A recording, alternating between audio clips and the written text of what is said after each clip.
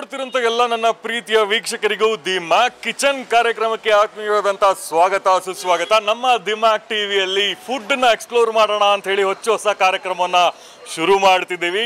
ಗಲ್ಲಿ ಗಲ್ಲಿಗಳಿಗೆ ಹೋಗಿ, ಅಂಗಡಿ ಅಂಗಡಿಗಳಿಗೆ ಹೋಗಿ, ವೆಜ್ ಆಗಿರ್ಬೋದು ನಾನ್ ವೆಜ್ ಆಗಿರ್ಬೋದು, ಪ್ರತಿಯೊಂದು ಐಟಮ್ನ ಟೇಸ್ಟ್ ಮಾಡಿ ಹೇಗಿದೆ ಫುಡ್ಡು, ಯಾವ ಥರ ಪ್ರಿಪ್ರೇಷನ್ ಮಾಡಿದ್ದಾರೆ, ಜೊತೆಗೆ ಎಷ್ಟು ಅದ್ಭುತವಾಗಿದೆ ನಮ್ಮ ಬೆಂಗಳೂರಿನ ಲೊಕೇಶನ್ಗಳು ಎಲ್ಲೆಲ್ಲಿ ಇದ್ದಾವೆ ಅನ್ನುವಂಥ ತಿಳಿಸ್ಕೊಡುವಂಥ ಕಾರ್ಯಕ್ರಮವೇ ದಿಮಾ ಕಿಚನ್ ಕಾರ್ಯಕ್ರಮ. ಇದು ನನ್ನ ಮೊಟ್ಟ ಮೊದಲನೇ ಕಾರ್ಯಕ್ರಮ. ಇವತ್ತು ನಾವು ಬಂದಿದ್ದೇವೆ ಬಸವನಗುಡಿಯಲ್ಲಿರುವಂಥ ಹನುಮಂತ ನಗರದ ಸೀಪುರ್ ಬಿರಿಯಾನಿ ಅನ್ನುವಂಥ ಒಂದು ಹೋಟ್ಲ್ಗೆ. ಇದು ಆ್ಯಕ್ಚುಲಿ ಪಕ್ಕಾ ನಾಟಿ ಸ್ಟೈಲ್ನ ಒಂದು ಹೋಟೆಲ್. ನಾಟಿ ಸ್ಟೈಲ್ನಲ್ಲಿ ಮಾಡುವಂಥ ಪ್ರತಿಯೊಂದು ಪದಾರ್ಥಗಳು ಇಲ್ಲಿ ಸಖತ್ ಫೇಮಸ್ ಅಂತ ನಮಗೂ ಕೂಡ ಹೇಳಿದ್ದಾರೆ ಆಲ್ರೆಡಿ ಸುಮಾರು ಜನ. ಹಾಗಾಗಿ ಇಲ್ಲಿಂದ ಶುರು ಮಾಡೋಣ ಅಂತ ಹೇಳಿ ಇವತ್ತಿನ ಕಾರ್ಯಕ್ರಮನ ಇಲ್ಲಿಂದ ಶುರು ಮಾಡ್ತಿದ್ದೀನಿ.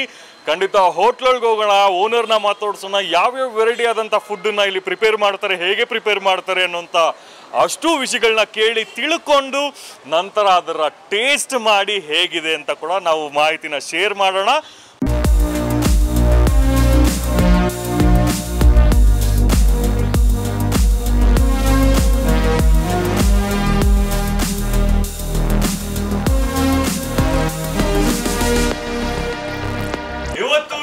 ಬಿರಿಯಾನಿ ಹನುಮಂತ ನಗರದಲ್ಲಿರುವಂತಹ ಫೇಮಸ್ ಸೀಪುರ್ ಬಿರಿಯಾನಿ ಹೋಟೆಲ್ಗೆ ಬಂದಿದ್ದೀನಿ. ಇಲ್ಲಿ ಬಿರಿಯಾನಿ ಮಾತ್ರ ಅಲ್ಲದೇನೆ ಸುಮಾರು ವೆರೈಟೀಸ್ ಇಲ್ಲಿ ಫೇಮಸ್ ಅಂತ ಕೇಳ್ಪಟ್ಟೆ. ಖಂಡಿತ ಈಗ ನಾನು ಸೀಪುರ್ ಬಿರಿಯಾನಿನ ಓನರ್ ಕಮ್ ಶೆಫ್ ಜೊತೆಗಿದ್ದೀನಿ. ಬನ್ನಿ ಅವ್ರನ್ನ ಮಾತಾಡ್ಸೋಣ. ಏನ್ ಹೇಳ್ತಾರೆ ಕೇಳೋಣ. ಸರ್ ನಮಸ್ತೆ. ನಮಸ್ತೆ. ಸರ್ ತಮ್ಮ ಹೆಸರು ಸರ್? ಜಗದೀಶ್. ಜಗದೀಶ್ ಅವರೇ ಹೇಳಿ ಪರ್ಟಿಕ್ಯುಲರ್ ಆಗಿ ಮೊದಲನೇದಾಗಿ ಎಷ್ಟು ವರ್ಷದಿಂದ ನೀವು ಈ ಒಂದು ಕುಕಿಂಗ್ ಇಂಡಸ್ಟ್ರಿ ಕುಕಿಂಗ್ ಅಲ್ಲಿ ನಾನು ಚಿಕ್ಕ ವಯಸ್ಸಿನಿಂದ ಇದ್ದೀನಿ. ಮತ್ತೆ. ಈಗ ಹದಿನೈದು ವರ್ಷದಿಂದ ಹೋಟೆಲ್ ಡಿಪಾರ್ಟ್ಮೆಂಟ್ ಅಲ್ಲಿ ಕೆಲಸ ಇದು ಮಾಡ್ತಾ ಕೆಲಸ ಮಾಡ್ತಿದ್ರ ಸೊ ಸೀಪುರ್ ಬಿರಿಯಾನಿ ಬಗ್ಗೆ ಹೇಳೋದಂದ್ರೆ ಫಸ್ಟ್ ಸೀಪುರ್ ಬಿರಿಯಾನಿ ಅಂತ ಹೆಸರೇ ಇಟ್ಟಿದ್ದೀರಾ? ಸೀಪುರ್ ಅಂದ್ರೆ ನಮ್ಮ ಮನೆತನದ್ದು. ಆಕ್ಚುಲಿ ಇದು ಸೀಪುರ್ ನಮ್ಮ ಮನೆತನ ಹೋಟೆಲ್ ಇದು ಇಂಡಸ್ಟ್ರಿಯಲ್ಲಿ ಎಂಬತ್ತು ವರ್ಷದಿಂದನೂ ಇದೆ. ನಮ್ಮ. ಅಜ್ಜಿಯವರ. ಕಾಲದಿಂದನೂ ಹೋಟೆಲ್ ಇದರಲ್ಲೇ ಇದೆ. ಬಟ್ ನಾನು ಚಿಕ್ಕಂದ್ರಿಂದನೂ ಇರೋಕೆ ಇದೊಂದು ಪ್ಯಾಷನ್ ಆಗ್ತಿತ್ತು. ಈಗ ಅದನ್ನ ಮಾಡಿ ಈ ಬಿರಿಯಾನಿ ನಮ್ಮ ಮನೆ ಹೆಸರಲ್ಲೇ ನಾವು ಓಪನ್ ಮಾಡಿ ಕಾಮನ್ ಆಗಿ ಹೇಳೋದಾದ್ರೆ ಸುಮಾರು ಜನ ನನಗೂ ಕೂಡ ಸಜೆಸ್ಟ್ ಮಾಡಿದ್ರು ನೀವು ನ್ಯಾಚುರಲ್ ಇಂಗ್ರೀಡಿಯೆಂಟ್ಸ್. ಬಳಸ್ತೀರಾ ಅಂತ ಆಕ್ಚುಲಿ ಇದೆಲ್ಲ ಬಂದಿದ್ದು ತಮ್ಮ ಅಜ್ಜಿ ಅವ್ರ ಕಡೆಯಿಂದ ಹೌದು ಹೌದು ಬಳವಳ್ಳಿ ಹೌದು ಹೌದು. ಸೊ ಹೇಳೋದಾದ್ರೆ ಪರ್ಟಿಕ್ಯುಲರ್ ಆಗಿ ಇವಾಗ ಬಿರಿಯಾನಿ ಹೋಟೆಲ್ ಅಂದ್ರೆ ನಮಗೆ ಗೊತ್ತಿದೆ ಚಿಕನ್ ಬಿರಿಯಾನಿ ಮಟನ್ ಬಿರಿಯಾನಿ ಅಥವಾ ಕಬಾಬ್ ಇನ್ನೊಂದು ಯಾವ್ದೋ ಮತ್ತೊಂದು ಯಾವ್ದೋ ಐಟಮ್ಗಳು ಇದ್ದೇ ಇರುತ್ತೆ. ಆದ್ರೆ ಸೀಪುರ್ ಬಿರಿಯಾನಿಲಿ ಪರ್ಟಿಕ್ಯುಲರ್ ಈ ಒಂದು ಐಟಮ್ ಫೇಮಸ್ ಈ ಒಂದು ಐಟಮ್ನ ಇಲ್ಲಿ ಬಂದವರು ತಿಂದೇ ಹೋಗ್ತಾರೆ ಏನಂತ ಐಟಮ್ ಯಾರು? ಕಬಾಬು ಮತ್ತೆ ಇಲ್ಲಿ pepper chicken pepper chicken pepper chicken Okay. Boti fry ಇದು ಏನ್ ಮಾಡ ಏನಾಗುತ್ತೆ ಎಲ್ಲ ಹೋಟ್ಲ ಎಲ್ಲ ಕಡೆನೂ ಒಂದು ಇದಿದೆ. ಆ ವಾಸನೆ ಬರುತ್ತೆ ಅಂತ. ಬಟ್ ಅದಕ್ಕೆ ಪ್ರೊಸೀಜರೇ ಬೇರೆ ಇದೆ. ನಮ್ಮಲ್ಲಿ ತಿನ್ನೋಡಿ ನೋಡಿ.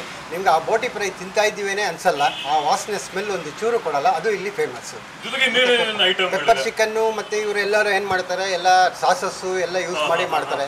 ಇಲ್ಲಿ ಟೋಟಲಿ ನಾಟಿ ಸ್ಟೈಲಿ ಈವನ್ ಪೆಪ್ಪರ್ ಕೂಡ ನಾವೇ ಪೌಡರ್ ಮಾಡಿ ಇದು ಮಾಡಿ ಎಲ್ಲ ಅದರಲ್ಲೇ ನಾವೇ ಮಾಡೋದು. ಅದರಿಂದ ಪರ್ಟಿಕ್ಯುಲರ್ ಪೆಪ್ಪರ್ ಸ್ಮೆಲ್ ಬಂದೇ ಬರುತ್ತೆ ಟೇಸ್ಟ್ ಸಿಕ್ಕೇ ಸಿಗುತ್ತೆ ಇಲ್ಲಿ ನಾವು ಬಿರಿಯಾ ಬಿರಿಯಾನಿ ಬಿರಿಯಾನಿ ರೈಸ್ ಬರುತ್ತೆ ಮತ್ತು pepper chicken liver fry boti boti fry keema fish bangda fish fry rava fry ಮಾಡ್ತೀವಿ. ಕೈಮಾ ಮಾಡ್ತೀವಿ. ಮತ್ತೆ ಅನೇಕ ಈಗ ಸಂಡೇ ಸ ದೋಸೆ ಮತ್ತು ಕಾಲು ಸೂಪು ಬೆಳಿಗ್ಗೆ ಆರೂವರೆ ಏಳು ಗಂಟೆಗೆ ಸ್ಟಾರ್ಟ್ ಆಗುತ್ತೆ. ಅದೇ ನಮ್ಮ ಇದರಲ್ಲಿ ಸ್ಪೆಷಲ್ ಇದೆ. ಸೊ ಜನ ಯಾವ ಸಂದರ್ಭದಲ್ಲಿ ಜನ ಅತಿ ಹೆಚ್ಚು ಜನ ಬಂದು ತಿನ್ಕೊಂಡು ಹೋಗ್ತಾರೆ ನಿಮ್ಮ ಅಂಗಡಿಗೆ? ನಮ್ಮ ಅಂಗಡಿಗೆ ಅಂದರೆ ಈವ್ನಿಂಗ್ ಟೈಮು. ತುಂಬಾ ರಶ್ ಇರುತ್ತೆ ಈವ್ನಿಂಗ್ ಟೈಮಲ್ಲಿ ಅಲ್ಲಿ. ಮತ್ತೆ. ಸಂಡೇಸು ಮಧ್ಯಾಹ್ನದ ಮೇಲೆ ತುಂಬಾ ಇದಿರುತ್ತೆ. ನೋಡ್ತಿರೋಂತ ಎಲ್ಲಾ ವೀಕ್ಷಕರಿಗೆ ನಿಮ್ಮ ಸೀಪುರ್ ಬಿರಿಯಾನಿಗೆ ಈ ಒಂದು ರೀಸನ್ಗೆ ಬರ್ಲೇಬೇಕು ಅನ್ನೋದಂದ್ರೆ ಆ ರೀಸನ್ ಏನು? ಇಲ್ಲಿ ಟೋಟಲಿ ನಾವು ಯಾವುದೇ ರೀತಿಯಾದ ಪೌಡರ್ಸ್ ಯೂಸ್ ಮಾಡಲ್ಲ. ಪ್ಯಾಕೆಟ್ ಪೌಡರ್ಸ್ ಆಗಲಿ ಮತ್ತೆ ಮೇನ್ ಏನು ಅಂದರೆ ಟೇಸ್ಟಿಂಗ್ ಪೌಡರ್ ಯೂಸ್ ಮಾಡಲ್ಲ. ಎಲ್ಲ ಕಡೆ ಏನಾಗ್ತದೆ ಟೇಸ್ಟ್ ಬರಲಿ ಅಂತ ಟೇಸ್ಟಿಂಗ್ ಪೌಡರ್ ಯೂಸ್ ಮಾಡಲ್ಲ. ಇಲ್ಲಿ ನಮ್ಮ ನಾವೇನು ಮಾಡ್ತೀವಿ ಇಲ್ಲಿಂದ ಪಾರ್ಸಲ್ ಮನೆಗಳಿಗೆ ಮಕ್ಕಳಿಗೆ ಎಲ್ಲ ಮುದುಕರು ತಗೊಂಡೋಗ್ತಾರೆ. ಆ ಟೇಸ್ಟಿಂಗ್ ಪೌಡರ್ ತುಂಬ ಅಪಾಯ. ಅದರಿಂದ ಕ್ಯಾನ್ಸರ್ಗೆ ಕಾರಣ ನಾವು ಅದನ್ನ ಯೂಸೇ ಮಾಡಲ್ಲ. ಮತ್ತೆ ಏನಾಗುತ್ತೆ ಅಂದ್ರೆ ನಾವು ಯಾವುದೇ ಇಂಗ್ರೀಡಿಯೆಂಟ್ ಕಲರ್ಸ್ ಯೂಸ್ ಮಾಡಲ್ಲ. ನ್ಯಾಚುರಲ್ ಪುಡಿ ಯೂಸ್ ಮಾಡಿಕೊಂಡು ನಾವೇ ಮಸಾಲೆ ಮಾಡಿ ಅದರಲ್ಲಿ ಯೂಸ್ ಮಾಡೋದ್ರಿಂದ ಪರ್ಟಿಕ್ಯುಲರ್ ನಿಮಗೆ ಟೇಸ್ಟು ಸಿಗುತ್ತೆ. ಮತ್ತು ತಿಂದಾಗಿ ನೀವು ಆ ಸ್ಮೆಲ್ ನಿಮಗೆ ಸಂಜೆವರೆಗೂ ಕೈಯಲ್ಲೇ ಇರುತ್ತೆ ಅದನ್ನು. ಮತ್ತು ನಿಮಗೆ ಎದೆ ಮೇಲೆ ಈಗ ಬಿರಿಯಾನಿ ತಿಂತಾರೆ ಎದೆ ಮೇಲೇ ಉರಿ ಅಂತ ಜೀರ್ಣ ಆಗಲ್ಲ ಎದೆ ಉರಿ ಅಂತಾರೆ. ಇದು ತಿಂದು ನೋಡಿ ನೀವು ಆಲ್ಮೋಸ್ಟ್ ನಿಮಗೆ ಆ ಫೀಲಿಂಗ್ ಬರೋದೇ ಇಲ್ಲ ಇದು. ಹಂಡ್ರೆಡ್ ಪರ್ಸೆಂಟ್ ನಾವು ಗ್ಯಾರಂಟಿ ಕೊಡ್ತೀನಿ. ಬನ್ನಿ ಒಂದ್ಸರಿ ಟೇಸ್ಟ್ ಮಾಡಿ. ನೋಡಲ್ಲ ವೀಕ್ಷಕರೇ, ಇದು ಜಗದೀಶ್ ಅವ್ರು ಹೇಳುವಂತ ಮಾತು ಸೀಪುರ್ ಬಿರಿಯಾನಿನ ಓನರ್ ಕಮ್ ಚೆಫ್ ಇವರೇನೆ. ಆದ್ರಿಂದ ಇಷ್ಟು ಅದ್ಭುತವಾಗಿ ಕಾನ್ಫಿಡೆನ್ಸ್ ಆಗಿ ಹೇಳ್ತಿದ್ದಾರೆ. ನಮ್ಮಲ್ಲಿ ಒಂದೊಮ್ಮೆ ಟೇಸ್ಟ್ ಮಾಡಿ ನೋಡಿ ಫುಡ್ನ. ಯಾವುದೇ ತರ ನಿಮ್ಗೆ ಸೈಡ್ ಎಫೆಕ್ಟ್ಸ್ ಇರೋದಿಲ್ಲ, ಜೊತೆಗೆ ಜೀರ್ಣ ಕೂಡ ಬ್ಯೂಟಿಫುಲ್ ಆಗುತ್ತೆ. ಜೊತೆಗೆ ಮಸಾಲೆ ಪೌಡರ್ ನೀವು ತಿಂತಿದ್ರೆ ನಾಲ್ಗೆ ಮೇಲೆ, ಕೈ ಮೇಲೆ ಸುವಾಸನೆ ಹಾಗೆ ಇರುತ್ತೆ ಅಂತ ನಾನು ಕೂಡ ವೇಟ್ ಮಾಡ್ತಿದ್ದೀನಿ. ಸೊ ಕಿಚನ್ ಒಳಗೆ ಹೋಗೋಣ. ಏನ್ ರೆಡಿ ಆಗ್ತಿದೆ, ಏನ್ ಪ್ರಿಪೇರ್ ಆಗ್ತಿದೆ, ನಮಗೋಸ್ಕರ ಏನೇನೆಲ್ಲ ಟೇಸ್ಟ್ ಮಾಡ್ತಿದೀವಿ ಅಂತ ಖಂಡಿತ ನೀವು ನೋಡೋಣ ನಾನು ಕೂಡ ನೋಡ್ತೀನಿ.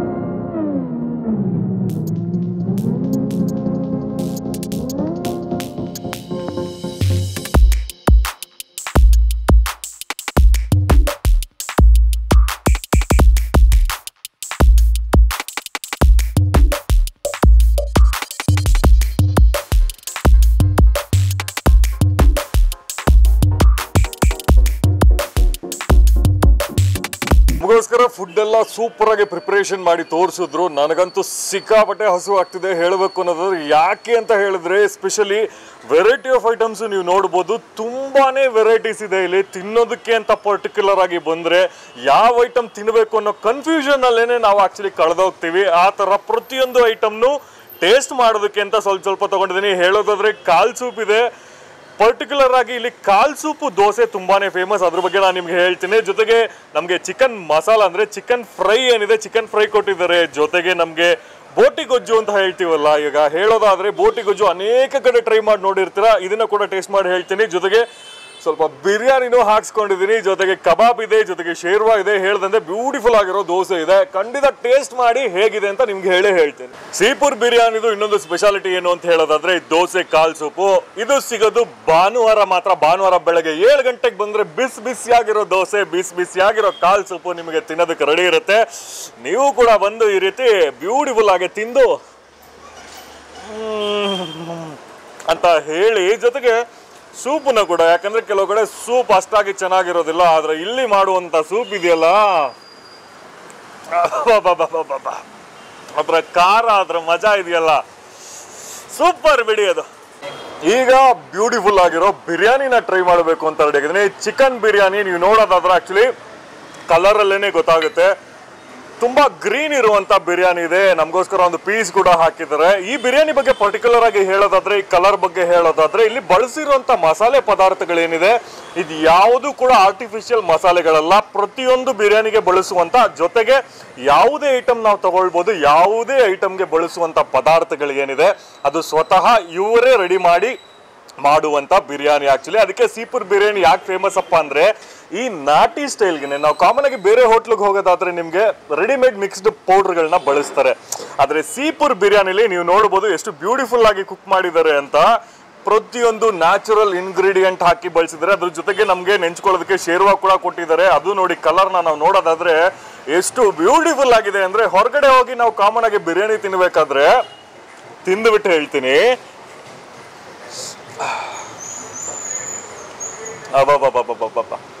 ಎಷ್ಟು ಸಕಲಾಗಿದೆ ಅಂದ್ರೆ ಟೇಸ್ಟ್ ಅದನ್ನೇ ನಾನು ಹೇಳಿದ್ದು, ಈ ಬಿರಿಯಾನಿನ ಟೇಸ್ಟ್ ಮಾಡಬೇಕಾದ್ರೆ ನನಗೆ ಅದರಲ್ಲಿ ಬಳಸಿರುವಂತ ಅಷ್ಟು ಪದಾರ್ಥಗಳು, ಹಾಕಿರೋ ಚಕ್ಕೆ ಇರ್ಬೋದು, ಜೀರಿಗೆ ಇರ್ಬೋದು ಕೊತ್ತಂಬರಿ ಸೊಪ್ಪು ಇರ್ಬೋದು, ಪುದೀನ ಸೊಪ್ಪು ಇರ್ಬೋದು.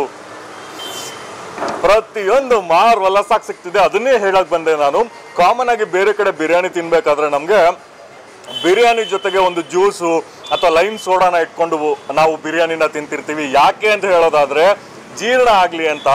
ಆದರೆ ಇಲ್ಲಿ ಪ್ರತಿಯೊಂದು ನ್ಯಾಚುರಲ್ ಇಂಗ್ರೀಡಿಯೆಂಟ್ಸ್ ಬಳಸಿರೋದ್ರಿಂದ ನಮಗೆ ಜೀರ್ಣ ಆಗ್ಬೇಕಲ್ಲಪ್ಪ ಅನ್ನೋ ಯೋಚನೆ ಇಲ್ಲ. ನ್ಯಾಚುರಲ್ ಆಗಿ ತಿಂತಾ ಹೋಗಿ ಅದ್ರ ಪಾಳಿಗೆ ಅದು ಜೀರ್ಣ ಆಗುತ್ತೆ. ಅದ್ರ ಜೊತೆಗೆ ನನ್ನ ಫೇವ್ರೆಟ್ ಆದಂತ ಒಂದು ಐಟಮ್ ಆಕ್ಚುಲಿ ನಾನು ಚಿಕನ್ ಪ್ರಿಯ ಹೇಳೋದಾದ್ರೆ.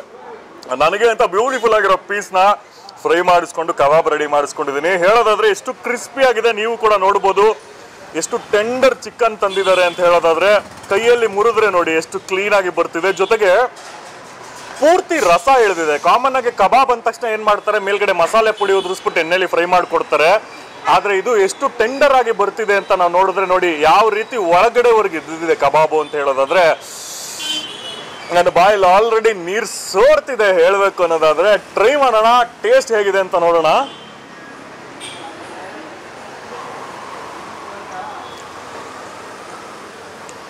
ನಾನು ಅದನ್ನೇ ಹೇಳಿದ್ದು ಸೀಪರ್ ಬಿರಿಯಾನಿಗೆ ನಾವು ಬಂದು ತಿಂಡಿ ತಿಂತೀವಿ ಅಥವಾ ಈ ಬ್ಯೂಟಿಫುಲ್ ಫುಡ್ನ ಟೇಸ್ಟ್ ಮಾಡ್ತೀವಿ ಅಂತ ಹೇಳೋದಾದ್ರೆ ಅದ್ಭುತವಾದಂಥ ರೆಸಿಪಿ ರೀ. ನಿಜವಾಗ್ಲೂ ಹೇಳೋದಾದ್ರೆ, ಕಬಾಬ್ ಎಷ್ಟು ಸಖತ್ತಾಗಿ ಫ್ರೈ ಆಗಿದೆ ಅಂದರೆ, ಕಬಾಬ್ ಮೇಲೆ ಏನು ಮಸಾಲೆನ ಹರಡಿಸಿರ್ತಾರೆ, ಅದು ಒಳಗಡೆವರೆಗೆ ಇಳಿದಿದೆ.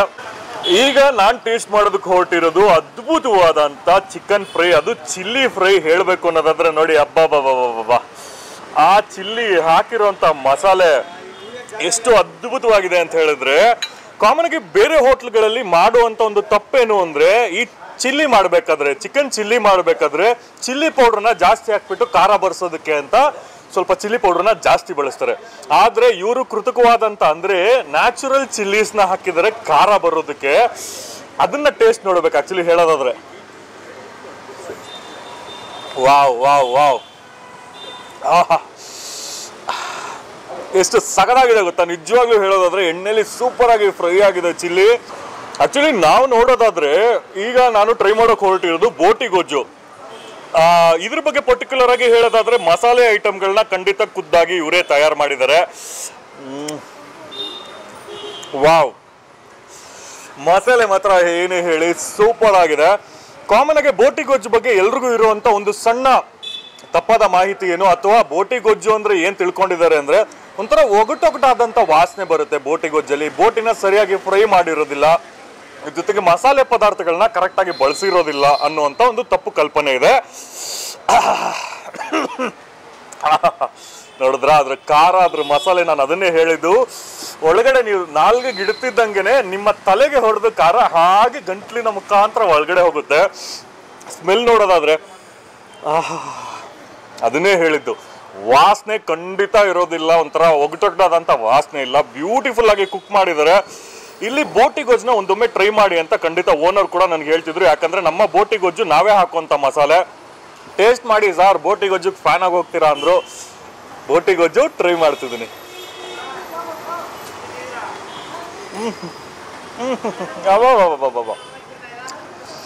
ಮೈಸೂರು ಪಾಕನ್ನ ತಿನ್ಬೇಕಾದ್ರೆ ಹೇಗೆ ಬಾಯಿ ಇಟ್ಕೊಂಡ್ರೆ ಕರಗುತ್ತೆ?